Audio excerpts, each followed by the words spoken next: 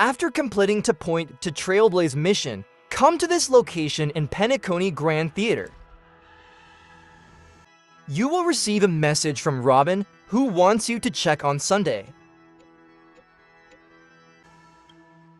Now teleport to this Penacony boss and investigate the floating book here.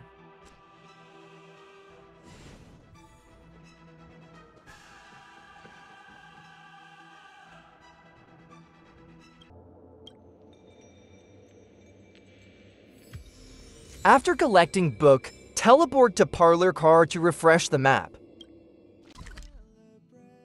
After that, teleport to Ascension Hallway in Penacony Grand Theater. On the left side, you will see Elegant Intellitron. Talk to her until the end to get this achievement.